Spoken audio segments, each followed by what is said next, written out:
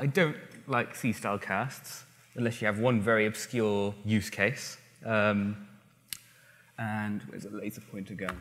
Is it working? Brilliant. So, the dangers of C-style casts. So I'm going to lead by example here. So here's some code. Looks fairly innocent. Now, who thinks this will compile? About half of you. Okay, it will, and you won't even get a warning for it.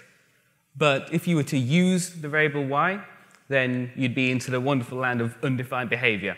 So we certainly do not want this. Um, and this is down to the use of a C-style cast. Take this, for example. All I've done is change it to a static cast. Who thinks this will compile? Absolutely nobody. and they're correct.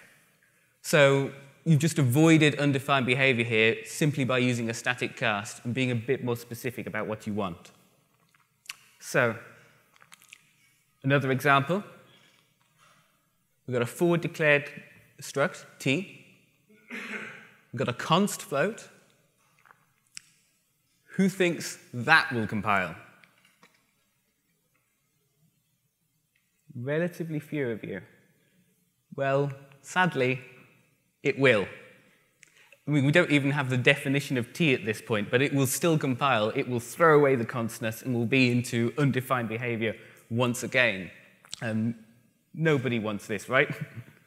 so, if we should just use a static cast instead, you think this will compile?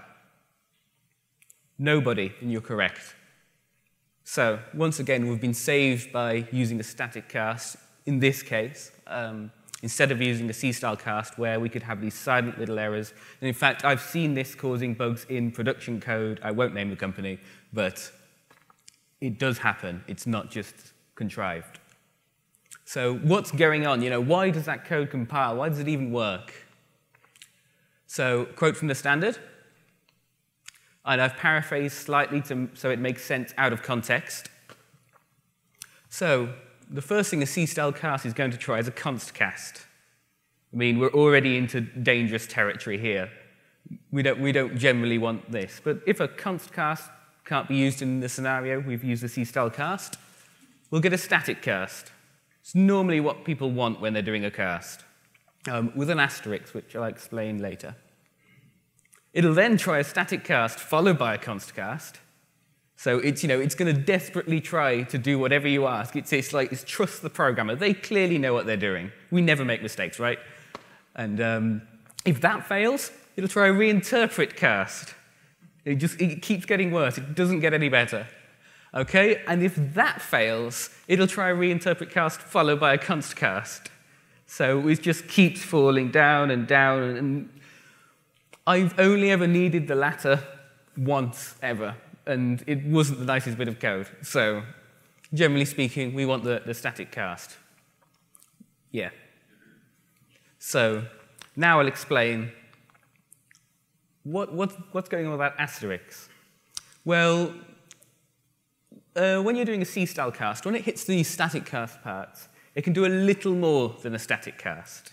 It can do this. And now I'm not going to explain all of that you, you can take it as your own reading. It's in the standard.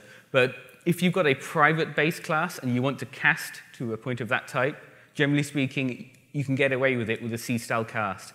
That is the only time you should ever be using these C-style casts. And if you need to do this anyway, you should probably rethink your code in the first place. So that's my presentation.